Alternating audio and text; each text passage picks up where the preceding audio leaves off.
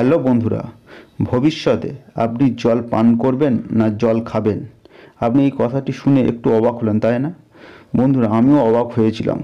কিন্তু গাইস এই কথাটি সত্য। প্রকৃতপক্ষে বোতলের জল পান করলে আমাদের শরীরে বেশিরভাগ সময় ক্ষতি করে।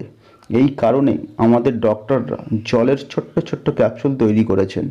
এই ক্যাপসুল মুখের মধ্যে রাখলে ক্যাপসুল মুখের মধ্যেই বাস্ট করবে এবং জলের তেষ্টা পরিপূর্ণ হবে।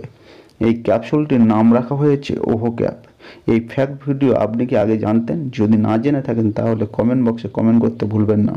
এবং এমন ভিডিও পাওয়ার জন্য চ্যানেলটি সাবস্ক্রাইব করুন এবং এই ভিডিওটি ভালো লেগে থাকলে ভিডিওটি লাইক করুন।